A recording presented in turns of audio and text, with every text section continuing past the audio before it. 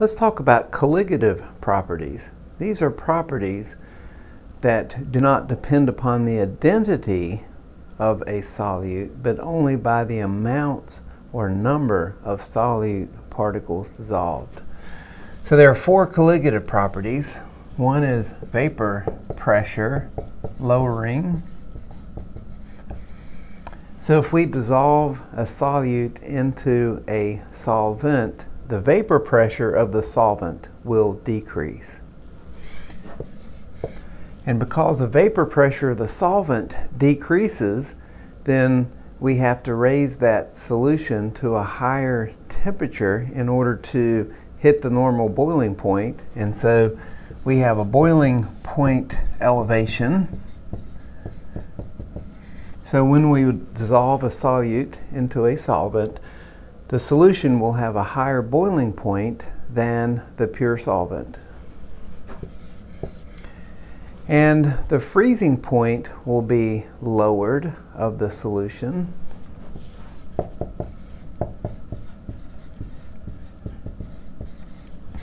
So if we dissolve salt into water, the freezing point will go down of the solution.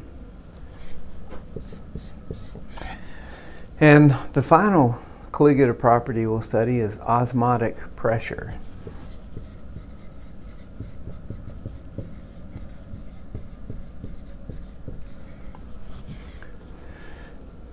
So let's consider these in turn. Okay, let's consider vapor pressure lowering. So if we dissolve a solute into a solvent, the vapor pressure of the solvent decreases. And we can write the vapor pressure of the solution is equal to the mole fraction of the solvent times the vapor pressure of the pure solvent. And we put a little superscript O to represent pure solvent. So we saw mole fraction before when we studied gases. So if we have something dissolved in a solvent, then the mole fraction of the solvent will be less than 1, so the vapor pressure will be less than the pure solvent because we're multiplying by a fraction. So let's look at an example. Say we have um, 100 grams of sugar in one liter of water. We want to know what the vapor pressure of that sugar solution will be. So we have to find the mole fraction of the solvent and the vapor pressure of pure water. So the vapor pressure of pure water we can find in a table and we can calculate the mole fraction. So let's say this is at 100 degrees centigrade. That's the boiling point of water. So we'll see how far the vapor pressure is lowered.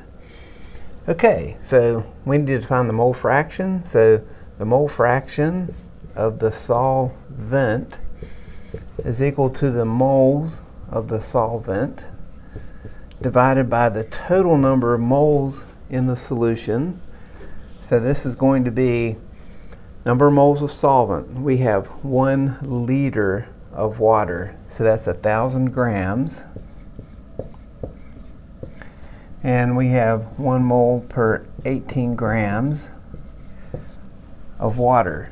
So this is the molecular weight of water. So this will give me the moles of water, a solvent in the numerator. And then in the denominator, I need the total number of moles. So I have moles of water plus the moles of sugar in the denominator.